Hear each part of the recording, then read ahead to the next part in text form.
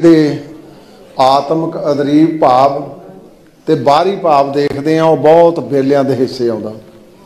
ਉਹ ਹਿੱਸੇ ਆਇਆ ਸਾਡੇ ਬਹੁਤ ਹੀ ਸਤਿਕਾਰਯੋਗ ਇਸ ਜੈਤੋਂ ਦੇ ਮੋਰਚੇ ਦੇ ਸ਼ਹੀਦ ਸਿੰਘਾਂ ਦੇ ਹਿੱਸੇ।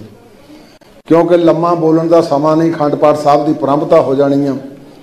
ਸਿੱਖਾਂ ਦੇ ਵਿੱਚ ਗੁਰੂ ਸਾਹਿਬ ਜੀ ਨੇ ਉਸ ਪਿੱਟ ਭਰੀ ਜਿਹਨੂੰ ਆਪਣੇ ਪਿੰਡੇ ਤੇ ਵੀ ਹੰਡਾਇਆ ਗੁਰੂ ਪੰਜਮ ਪਾਤਸ਼ਾਹ ਜੀ ਨੇ ਗੁਰੂ ਨੌਵੇਂ ਪਾਤਸ਼ਾਹ ਜੀ ਨੇ ਆਪ ਸ਼ਹਾਦਤਾਂ ਦੇ ਕੇ ਇਹ ਜਿਹੜਾ ਸੰਦਲੀ ਪੰਥ ਦੀਆਂ ਪੈੜਾਂ ਚਲਾਈਆਂ ਤੇ ਜਿੱਲੇ ਆਪਾਂ ਅੰਤ ਦੇ ਵਿੱਚ ਦੇਖਦੇ ਹਾਂ ਸਾਹਿਬ ਸ੍ਰੀ ਗੁਰੂ ਗੋਬਿੰਦ ਸਿੰਘ ਪਾਤਸ਼ਾਹ ਜੀ, ਜਿਸ ਵੇਲੇ ਸੰਪੂਰਨਤਾ ਹੋਈ ਸ੍ਰੀ ਗੁਰੂ ਗ੍ਰੰਥ ਸਾਹਿਬ ਮਹਾਰਾਜ ਜੀ ਦੀ ਤੇ 48 ਸਿੰਘਾਂ ਦੇ ਵਿੱਚੋਂ ਸਾਰੇ ਸਿੰਘ ਮੁਕਤ ਹੋ ਗਏ, ਪਰ ਦੋ ਸਿੰਘ ਸਤਿਗੁਰੂ ਜੀ ਨੇ ਧੰਨ ਧੰਨ ਬਾਬਾ ਦੀਪ ਸਿੰਘ ਜੀ, ਧੰਨ ਧੰਨ ਭਾਈ ਮਨੀ ਸਿੰਘ ਜੀ।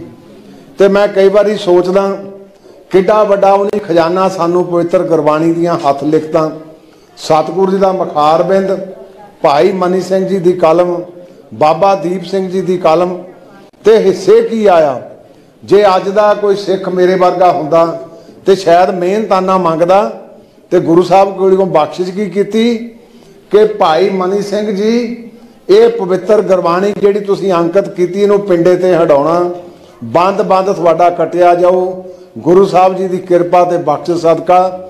ਭਾਈ ਮਨੀ ਸਿੰਘ ਜੀ ਦੇ ਹਿੱਸੇ ਉਹ ਸ਼ਹਾਦਤ ਆਈ ਤੇ ਮੈਂ ਸੋਚਦਾ ਜਿਸਲੇ ਲਖਾਰੀ ਦਾ ਲਿਖਣ ਦਾ ਢੰਗ ਵੀ ਹੁੰਦਾ, ਕਿ ਜਿਸਲੇ ਭਾਈ ਮਨੀ ਸਿੰਘ ਜੀ ਨੇ ਉਹ ਸ਼ਹਾਦਤ ਦੇਣੀ ਸੀ, ਤੇ ਜ਼ੁਲਮ ਕਰਨ ਵਾਲਾ ਡਰ ਗਿਆ, ਖੈਂਬਰ ਗਿਆ। ਉਹਨੂੰ ਕਿਹਾ, ਭਾਈ ਬੰਦ-ਬੰਦ ਕੱਟ। ਉਹ ਕਹਿੰਦਾ, ਤੁਹਾਨੂੰ ਚਾਹ ਕਾਦਾ ਕਹਿੰਦੇ, ਮੈਨੂੰ ਚਾਹ ਆ ਗੁਰੂ ਗੋਬਿੰਦ ਸਿੰਘ ਪਾਤਸ਼ਾਹ ਜੀ ਦੀ ਬੁੱਕਲ ਦੇ ਵਿੱਚ ਜਾ ਕੇ ਬਹਿਣ ਦਾ। ਭਾਈ ਮਨੀ ਸਿੰਘ ਜੀ ਤੋਂ ਇਲਾਵਾ ਬਾਬਾ ਦੀਪ ਸਿੰਘ ਜੀ, ਜਿਨ੍ਹਾਂ ਦਾ ਆਪਾਂ ਪਿੱਛੇ ਸ਼ਹਾਦਤ ਦਿਹਾੜਾ ਮਨਾ ਕੇ ਹਟੇ ਆ, ਉਹਨਾਂ ਦੇ ਹਿੱਸੇ ਕੀ ਆਇਆ? ਸੀਸ ਹੱਥ ਤੇ ਰੱਖ ਕੇ ਲੜਨਾ।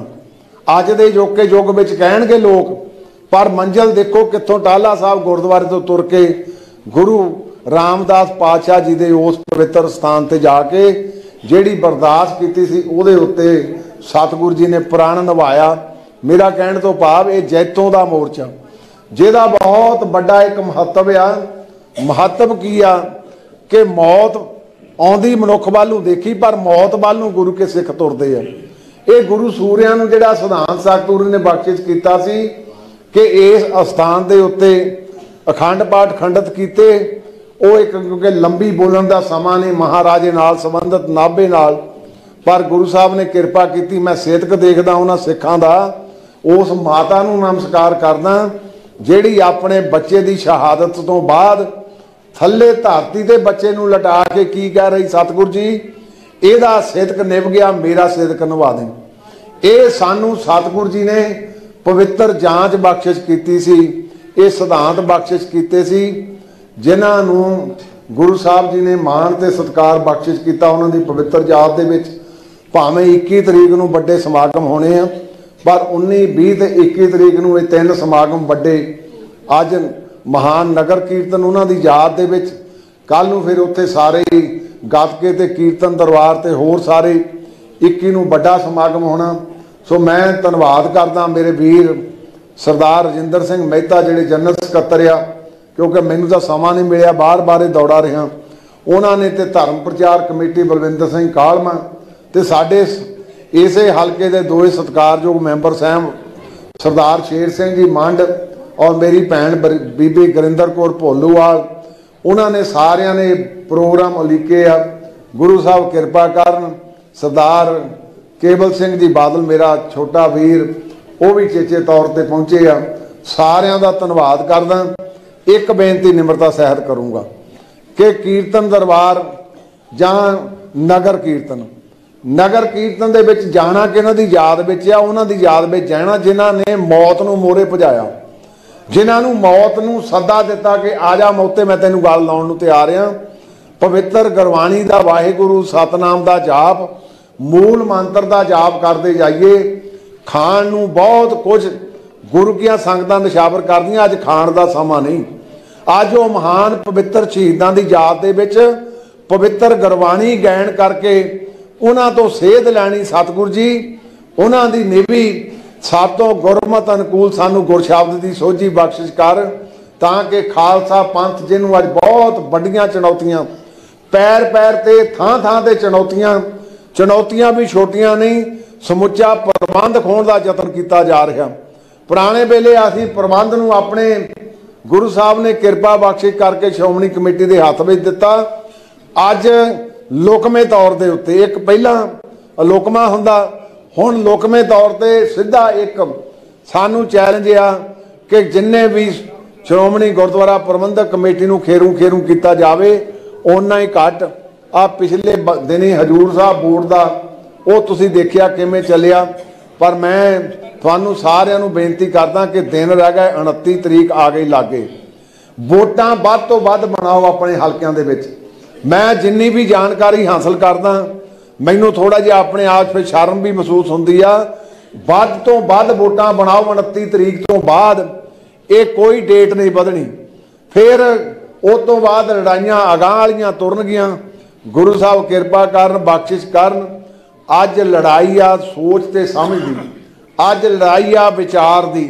ਪਰ ਕਈ ਵਾਰੀ ਵਿਰੋਧੀ ਲੋਕਵੇਂ ਢੰਗ ਦੇ ਵਿੱਚ ਐਡਾ ਵੱਡਾ ਬਾਰ ਕਰ ਜਾਂਦੇ, ਅਸੀਂ ਅਵੇਸਲੇ ਬੈਠੇ ਰਹਿੰਦੇ, ਅਵੇਸਲੇ ਬੈਠਣ ਦੀ ਲੋੜ ਨਹੀਂ।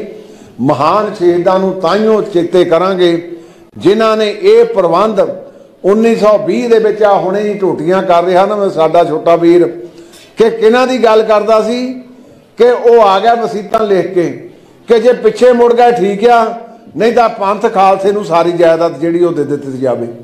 ਇਹ ਗੁਰੂ ਸਾਹਿਬ ਜੀ ਨੇ ਸਾਡੇ ਵਿੱਚ ਸਪਿੰਡ ਭਰੀ ਸੀ ਸੋ ਮੈਂ ਉਹਨਾਂ ਮਹਾਨ ਸ਼ਹੀਦਾਂ ਨੂੰ ਜਿੱਥੇ ਨਤਮਸਤਕ ਉਹਨਾਂ ਸੂਬਾ ਸਿੰਘ ਬਾਦਲ ਤੇ ਹਰਿੰਦਰ ਸਿੰਘ ਕਾਲਕਾ ਉੱਥੇ ਮੈਂ ਆਪਣੇ ਵੀਰ ਛੋਟੇ ਸਭ ਮੇਤੋਂ ਦਾ ਵੱਡਾ ਹੀ ਆ ਭਾਈ ਹਰਵਿੰਦਰ ਸਿੰਘ ਖਾਲਸਾ ਕਿਉਂਕਿ ਫੈਡਰੇਸ਼ਨ ਦਾ ਸਾਰਾ ਹਰਿਆਬਲ ਦਸਤਾ ਇਹ ਬਹੁਤ ਵੱਡਾ ਖਜ਼ਾਨਾ ਵੀ ਸਾਂਭ ਕੇ ਬੈਠਾ। ਔਰ ਉਸ ਖਜ਼ਾਨੇ ਨੂੰ ਸਾਡੇ ਨਾਲ ਸਾਂਝਾ ਵੀ ਕਰਦਾ, ਪ੍ਰਦਰਸ਼ਨੀਆਂ ਵੀ ਹਰੇਕ ਤਾਂ ਲੱਗਦੀਆਂ। ਔਰ ਤੁਹਾਡੇ ਹਲਕਾ ਇੰਚਾਰਜ ਸਰਦਾਰ ਸੂਬਾ ਸਿੰਘ ਜੀ ਬਾਦਲ, ਇਹ ਵੀ ਇਹਨਾਂ ਦਾ ਵੀ ਧੰਨਵਾਦ ਕਰਦਾ। ਮੈਂ ਕਈ ਵਾਰੀ ਕਹਿਣਾ ਹੁੰਨਾ, ਆ ਜਿਹੜੀ ਫਲਵਾੜੀ ਹੋਣੇ ਕਰਕੇ ਹਟੇ ਜੇਕਰ, ਸ਼੍ਰੀ ਅਕਾਲ ਤਖਤ ਸਾਹਿਬ ਸਿੱਖਾਂ ਦੀ ਸਰਮੌਰ ਸੰਸਥਾ, ਜੇ ਸੰਸਥਾ ਦੀ ਸਾਡੀ ਅਗਵਾਈ ਕਰਨੀ ਆ, ਤੇ ਦੋ ਸੰਸਥਾਵਾਂ, ਸ਼੍ਰੋਮਣੀ ਕਮੇਟੀ ਤੇ ਸ਼੍ਰੋਮਣੀ ਅਕਾਲੀ ਦਲ, ਉਹਦੇ ਝੰਡੇ ਥੱਲੇ ਉਹਨਾਂ ਦੀ ਸਰਪ੍ਰਸਤੀ ਥੱਲੇ ਚੱਲਦੀ ਆ ਤੇ ਇਹੋ ਜਿਹੇ ਜਿਹੜੇ ਸਮਾਗਮ ਆ, ਅਕਾਲੀ ਦਲ ਨੂੰ ਵੀ ਵੱਧ ਕੇ ਆਉਣਾ ਚਾਹੀਦਾ। ਇਹ ਕਈ ਵਾਰੀ ਹੁੰਦਾ ਵੀ ਸ਼ਾਇਦ ਸ਼੍ਰੋਮਣੀ ਕਮੇਟੀ ਦਾ ਇਹ ਕਾਰਜ ਗੁਰੂ ਕੇ ਸਿੱਖਾਂ ਦਾ ਆ। ਉਹ ਸਿੱਖ ਅਕਾਲੀ ਸੀ, ਉਹ ਅਕਾਲੀ ਕਹਾਂ ਸ਼੍ਰੋਮਣੀ ਕਮੇਟੀ 'ਚ ਚੁਣੇ ਗਏ। ਆਪਾਂ ਵੱਧ ਤੋਂ ਵੱਧ ਸ਼ਾਮਲ ਹੋਈਏ ਗੁਰਮਤਿ ਦੇ ਇਹਨਾਂ ਸਮਾਗਮਾਂ ਦੇ ਵਿੱਚੋਂ, ਕਿਉਂਕਿ ਸਤਿਗੁਰੂ ਜੀ ਨੇ ਸਾਨੂੰ ਕਿਰਪਾ ਤੇ ਬਖਸ਼ਿਸ਼ ਕਰਕੇ ਜੋ ਲੋਹਾ ਤਰਿਓ ਸੰਗ ਕਾਸ਼ਟ ਲਾਗ ਸ਼ਬਦ ਗੁਰੂ ਹਰ ਪਾਵੇਗੋ ਇਹ ਸ਼ਬਦ ਦੇ ਨਾਲ ਹੀ ਜੁੜ ਕੇ ਭਵ ਸਾਗਰ ਪਾਰ ਕੀਤਾ ਜਾਣਾ। ਸੋ ਬਹੁਤ ਬਹੁਤ ਧੰਨਵਾਦ। ਆਪਾਂ ਹੁਣ ਅਰਦਾਸ ਕਰਨੀ ਆਨੰਦ ਸਾਹਿਬ ਜੀ ਦਾ ਪਾਠ, ਸ੍ਰੀ ਅਖੰਡ ਪਾਠ ਸਾਹਿਬਾਂ ਦੀ ਪ੍ਰੰਭਤਾ ਉਹ ਤੋਂ ਬਾਅਦ ਫਿਰ ਅਰਦਾਸ ਕਰਕੇ ਪੰਜ ਪਿਆਰੇ ਸਾਡੇ ਵਿੱਚ ਬਿਰਾਜਮਾਨ ਆ। ਗੁਰੂ ਸਾਹਿਬ ਜੀ ਦੀ ਸਰਪ੍ਰਸਤੀ ਹੇਠ ਇਹਨਾਂ ਨੇ ਨਾਲ ਤੁਰ ਕੇ ਆਪਾਂ ਸਾਰਿਆਂ ਨੇ ਸਤਿਨਾਮ ਵਾਹਿਗੁਰੂ ਦਾ ਜਾਪ ਕਰਦੇ, ਇਹ ਸ਼ਹੀਦੀ ਮਾਰਚ ਵਿੱਚ ਸ਼ਾਮਲ ਹੋਣਾ। ਸਾਰਿਆਂ ਦਾ ਇੱਕ ਵਾਰੀ ਫੇਰ ਖਾਸ ਕਰਕੇ ਬੀਬੀਆਂ ਦਾ ਧੰਨਵਾਦ ਕਰਦਾ, ਜਿਹੜੀਆਂ ਬਹੁਤ ਵੱਡੇ ਵੱਡੇ ਕਾਫਲੇ ਦੇ ਰੂਪ ਵਿੱਚ ਵੱਡੇ ਪੱਧਰ ਤੇ ਇੱਥੇ ਸਾਰੀਆਂ ਪਹੁੰਚੀਆਂ। ਆਪਣੇ ਸਹਿਯੋਗੀ ਮੈਂਬਰ, ਸਹਿਬਾਨਾਂ ਦਾ ਸਾਰਿਆਂ ਦਾ ਬਹੁਤ ਬਹੁਤ ਧੰਨਵਾਦ। ਵਾਹਿਗੁਰੂ ਜੀ ਕਾ ਖਾਲਸਾ, ਵਾਹਿਗੁਰੂ